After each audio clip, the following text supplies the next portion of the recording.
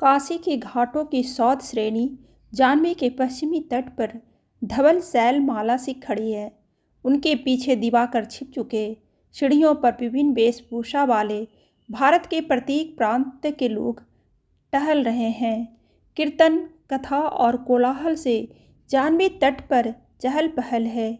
एक युवती भीड़ से अलग एकांत में ऊँची सीढ़ी पर बैठी हुई भिखारी का गीत सुन रही है। आँखों के सामने का दृश्य देख रही है। हृदय शून्य था। तारामंडल के विराट गगन के समान शून्य और उदास। सामने गंगा के उस पार चमकीली रेत बिछी थी। उसके बाद वृक्षों की हरियाली के ऊपर नीला आकाश, जिसमें पूर्णिमा का चंद्र फीके बादल के गोल टुकड़े के सदृश अभी दिन रहते ही गंगा के ऊपर दिखाई दे रहा है।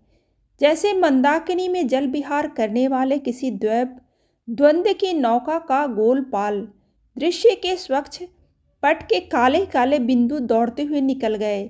युवती ने देखा, वह किसी उच्च मंदिर में से उड़े कपूतों का एक झुंड था। दृष्टि फिरकर वहाँ गई, जहाँ टूटी काठ के चौके पर विवर्ण मुख, लंबे असंयत बाल और कोट पहने एक युवक कोई पुस्तक पढ़ने में निमग्न था। युवती का हृदय फड़कने लगा।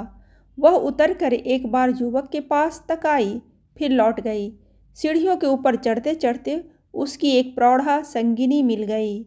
उससे बड़ी घबराहट में युवती ने कुछ कहा और स्वयं वहाँ से चली गई।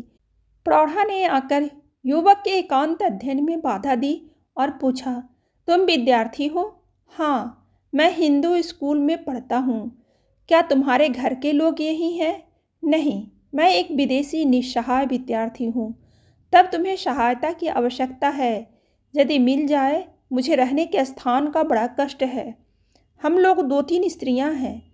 कोई अड़चन न हो तो हम लोगों के साथ रह सकते हो। बड़ी प्रसन्नता से आप लोगों का कोई छोटा मोटा काम भी कर दिया करूँगा। अभी चल सकते हो? कुछ पुस्तक और सामान है, उन्हें लेता आऊँ? ले आओ, मैं बैठी हूँ। युवक चला गया। गंगा तट पर एक कमरे में उज्जवल प्रकाश फैल रहा था। युवक विद्यार्थी बैठा हुआ ब्यालू कर रहा था। अब वह कॉलेज के छात्रों में है। उसका रहन सहन बदल गया है। वह एक सुरुचि संपन्न युवक हो गया है। आभाव उससे दूर हो गए थे। प्रौढ़ा परसती हुई बोली, क्यों शैलनाथ, तुम्हारी अपनी चाची का स्मरण होता है? नहीं तो मेरी कोई चाची नहीं है। दूर बैठी हुई युवती ने कहा जो अपनी स्मृति के साथ विश्वाघात करता है, उसे कौन स्मरण दिला सकता है? युवक ने हंसकर इस व्यंग को उड़ा दिया। चुपचाप घड़ी का टिक टिक शब्द सुनता और मुँह चलाता जा रहा था। मन में मनोविज्ञान का पाठ सोचता जाता था। मन क्यों एक बार ही एक विषय का विचार कर सकता है?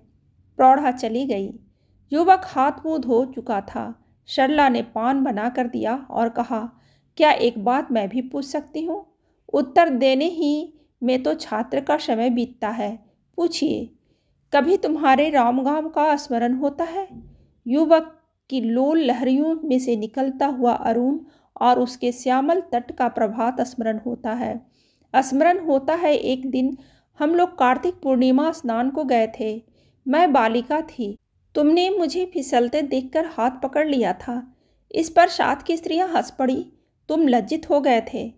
पच्चीस वर्ष के बाद युवक छात्र ने अपने जीवन भर में जैसे आज ही एक आश्चर्य की बात सुनी हो। वह बोल उठा, नहीं तो कई दिन बीत गए। गंगा के स्थिर जल में पैर डाले हुए, नीचे की सीढ़ियों पर सरला बैठी हुई थी। कारू कार्य खचित कंजुकी के ऊपर कंधे के पास सिकड़ी हुई साड़ी, आधा खुला हुआ शीर, बंकिम ग्रीवा और मस्तक में कुमकुम बिंदी महीन चादर में सब अलग अलग दिखाई दे रहे थे। मोटी पलकों वाली बड़ी बड़ी आँखें गंगा के हृदय में से मछलियों को ढूंढ निकालना चाहती थी। कभी कभी वह बीच धारा में बहती हुई डोंगी को देखने लगती, खेने वाला जिधर जा रहा है, उधर देखता ही नहीं।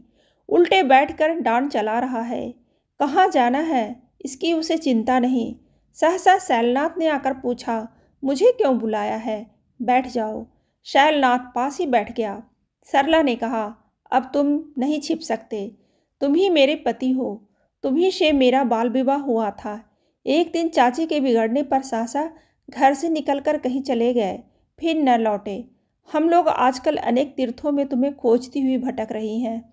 तुम ही मेरे देवता हो। तुम ही मेरे सर्वस्व हो। कह दो हाँ सरला जैसे उन्मादिनी हो गई है। यौवन की उत्कंठा उसके बदन पर बिखरी रही थी। प्रत्येक अंग में अंगड़ाई स्वर में मरोर शब्दों में वेदना का संचार था। शैलनाथ ने देखा, कुमुदों से प्रफुल्लित शरत काल के ताल सा भरा यौवन।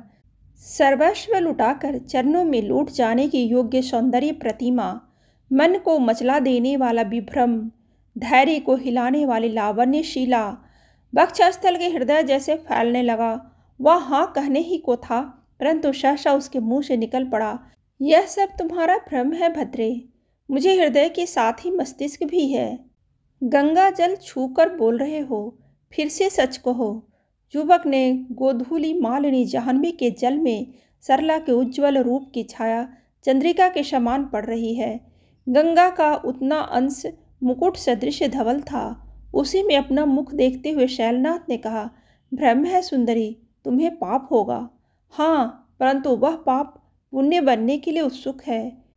मैं जाता हूँ सरला तुम्हें रूप की छाया ने भ्रांत कर दिया है। अभागों को सुख भी दुख ही देता है। मुझे और कहीं आश्रय खोजना पड़ेगा। शैलनाथ उठा और चला गया। विमूढ़ सरला कुछ न बोल सकी। वह क्षोभ और लज्जा से गड़ी जाने लगी। कर्मशः घनीभूत रात में सरला के रूप की छाया भी विलीन हो गई थी। कहानी अच्छी लगे तो लाइक ज़रूर करें और ऐसी ही कहानी सुनने के लिए सब्सक्राइब बटन दबाइए।